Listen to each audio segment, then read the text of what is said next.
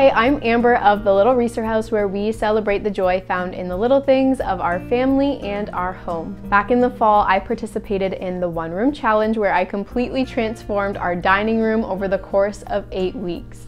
And within that greater dining room project, one of the projects that I tackled was refinishing an old secondhand dining table to fit into our space. I actually found this table a couple of years ago on our local buy and sell for 100 Canadian dollars, and I scooped it up knowing that one day I would love to refinish it.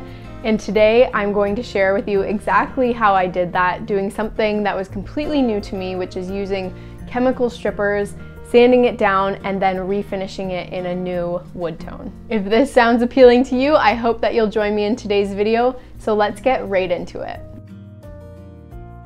When I picked up this table, the legs were already removed for transport, so I don't have a full before shot of the table assembled for you. But as you can see, the tabletop is a pretty basic oval shape and comes with two leaves to extend the length. The legs have some really beautiful details on them, including a little brass circle plate that adds a lot of character. The existing finish was in great shape, but it had a very yellow undertone and a weird speckling in it, so I wanted to strip it down and try something new for our own space. To save myself from endless sanding, I wanted to try to strip off as much of the existing finish as I could using chemicals.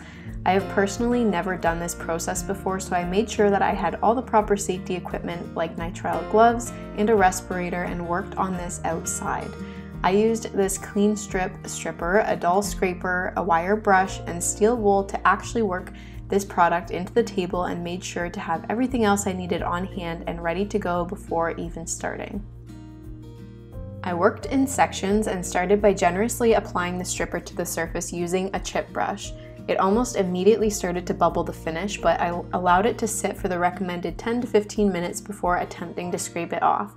By the way, I referenced two different tutorials for this process that I have linked down below in the description of this video.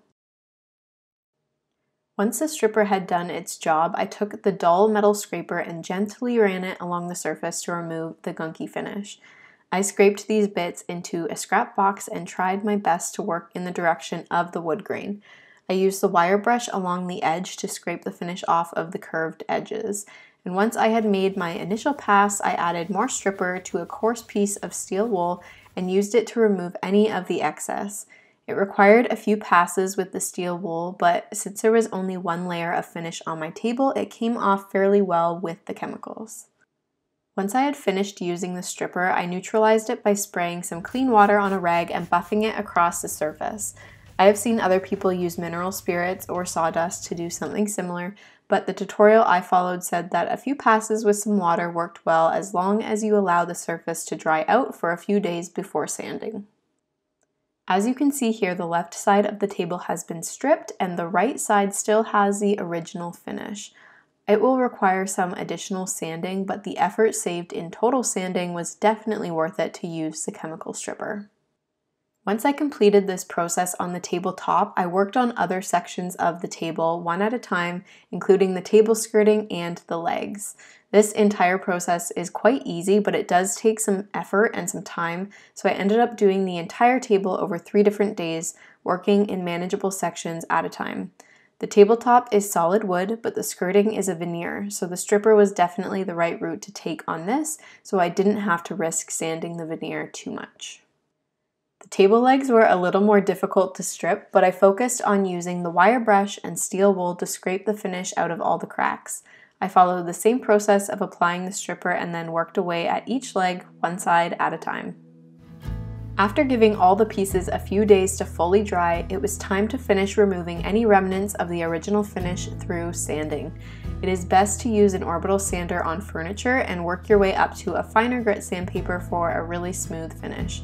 Since the stripper had done a pretty good job of removing most of the finish, I started with a 150 grit and then did a second pass with a 220 grit. I used the orbital sander on the flat surfaces and then sanded the table edges and leg details by hand.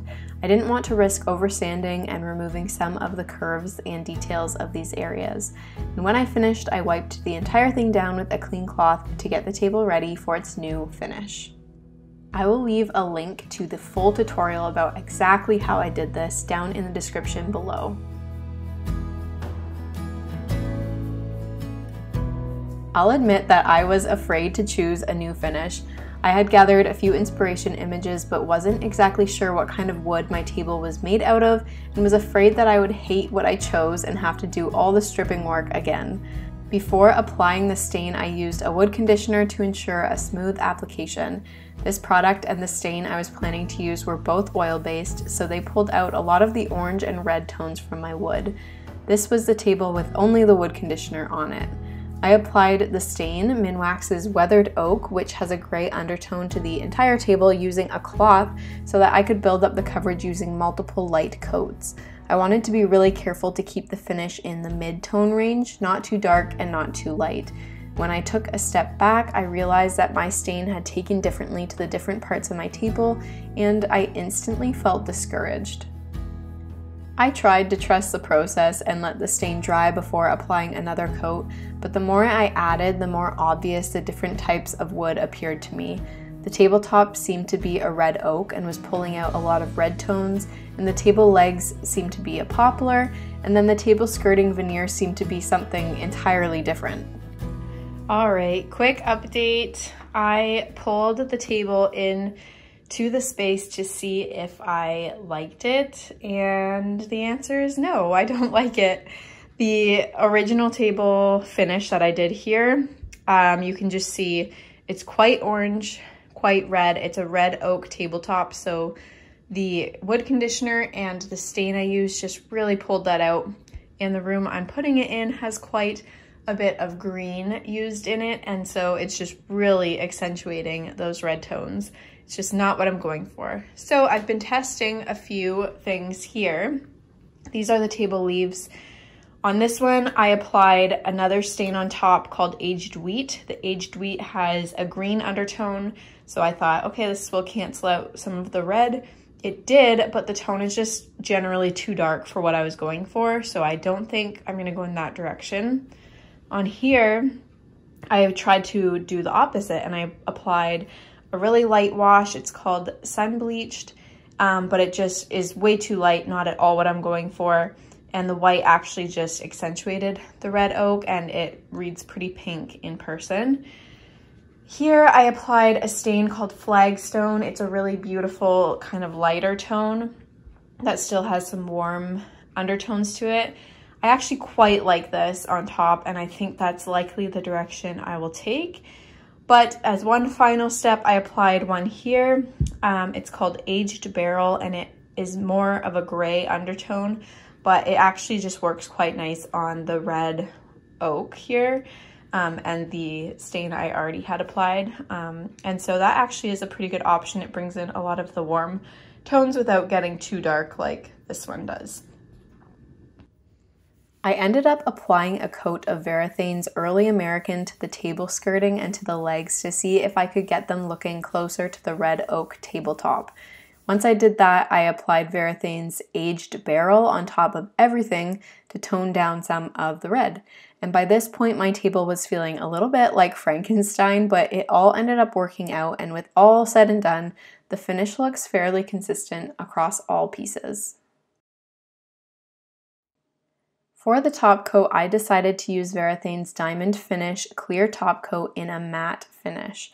I wanted to be really careful to avoid a top coat that would yellow over time or that was too glossy and this particular one is water-based and less likely to yellow over time than an oil-based top coat.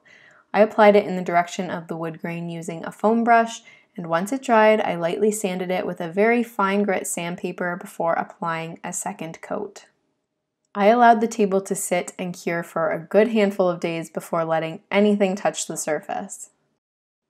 Before I reveal the final table to you, let's just remember what it looked like before I started this process. And this is what it looks like now.